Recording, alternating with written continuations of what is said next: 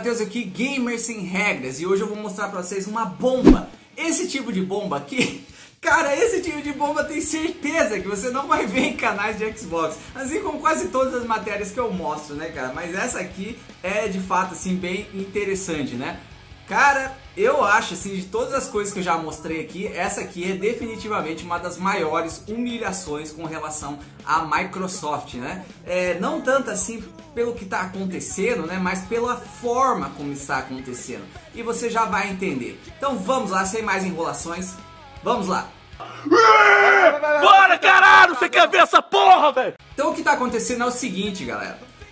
Essa empresa aqui, né, a IHS Market, que é uma companhia que, né, que faz previsões ali de mercado, tá, uma companhia de inteligência, serviços e coisas de economia, né? Ela fez uma previsão aqui que a Nintendo, né, já está, eles estão esperando, né, que a Nintendo passe a Microsoft em 2018 agora, velho, em questão de dinheiro, né, renda gerada aí com o negócio de videogames, cara. Você tem noção do que, é isso, velho? Lembrando, é claro, né, que a Nintendo praticamente acabou de voltar ao mercado, digamos assim, com o Switch, né, já que o o Wii U, né, tava praticamente aí morto, né? Mas vamos à matéria aqui, então, como vocês podem ver, né? Os analistas da IHS Market revelaram, né, que foi gasto aí um total de 10 bilhões, né, no Xbox, tanto da parte de hardware como de software, né, e serviços também, em 2017, tá? 10 bilhões. É, enquanto foi gasto, né, em produtos da Nintendo e tal, 8 bilhões. Só que tem um detalhe crucial aqui, né, velho? Isso aqui foi 2017, lembrando. O Xbox, cara, ele tá vindo aí numa caída ano a ano, enquanto que a Nintendo, no caso, 8 bilhões dela foi o dobro do que ela tinha gerado em 2016. Agora a gente vai ver aqui a previsão dos caras para esse ano, né, 2018. Então, olhando para frente, né, a IHS Market aí prevê, né, que esse dinheiro gasto tal com coisas da Nintendo, né, serviços, produtos e tal, vai ser de 11 bilhões agora em 2018, até o final, né, de 2018. Enquanto que a Microsoft é esperada aqui que caia, né, para 9 bilhões. Meus amigos, minhas amigas, esse aqui é um gráfico que mostra para vocês, antes que a galera pergunte, né, mas e o Playstation e a Sony, né? Esse gráfico aqui mostra aí para vocês tranquilamente, né? Acho que dá para entender. É, o verdinho ali é o ano de 2018, né, onde eu fiz a flechinha. Como vocês podem ver, a Sony está confortavelmente né, no topo aqui da parada, né? Ninguém nem chega perto dela. Por enquanto, pelo menos a Nintendo não representa nenhum é, perigo, digamos assim, eminente, né? Enquanto que o Xbox realmente está esperado ali que a Nintendo ultrapasse ele agora em 2018, né? E morreu. Não vai demorar muito. Eu já vinha falando isso há um bom tempo, né? Que eu achava que o Suitão aí ia passar o Xbox até o final da geração, é, tanto em consoles vendidos como em relevância e, e dinheiro gasto aqui e tal, né? Receita, né? Receita, renda aqui, né?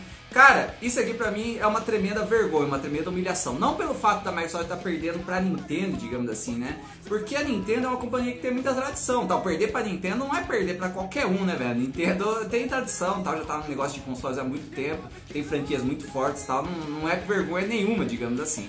Só que o caso é que, como eu falei, né, a Nintendo acabou de voltar aí com o Switch e tal, já tá mais relevante que o Xbox e tá no mercado aí com o Xbox One desde 2013, tá? Já de, o Xbox deveria estar tá no pico dele, digamos assim, né? Agora, né? Depois de alguns anos, mas não. Pelo contrário, ele está indo cada vez mais para baixo. Parece um avião, né? Quando falha os motores, uh, tá indo sem parar para baixo, velho. Enquanto que a Nintendo está subindo, né? É o contrário, velho. Isso aqui é uma vergonha, meus amigos. E lembrando, é claro, né, que tanto Sony quanto Nintendo, elas são companhias muito, infinitamente menores que a Microsoft, lógico, né?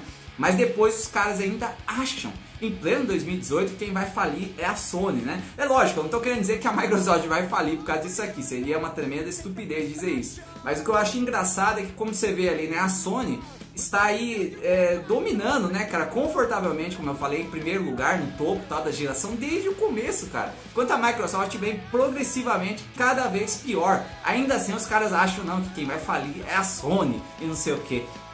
Velho, é incrível, né? Como os caras conseguem ser tão alienados, digamos assim, para a realidade do mundo real, que é isso aqui, né? Mas agora eu quero saber de vocês aí nos comentários, né? O que vocês acham aí da Nintendo tá passando a Microsoft agora em 2018? Você acha que essa previsão vai se cumprir mesmo? Você acha que é merecido? Você acha que o Suitão tá numa posição melhor aí com o Xbox e tal, né? Me diga aí nos comentários quem gostou desse vídeo deixa o like, compartilha, se inscreve, né? E quem não gostou, é, deixa o choro aí, né? Que a Microsoft, o chonão aqui é cada vez mais pra vala, velho. As previsões mostram e eu já vinha dizendo isso também há muito tempo, né? Só não vê quem não quer. Falou, galera, até o próximo vídeo. Fui! É claro, falando a verdade, doa a quem doer. Ninguém é obrigado a assistir e ninguém é obrigado a ouvir. Se você tiver a coragem de ouvir e a coragem de assistir, eu tenho a coragem de apresentar esse programa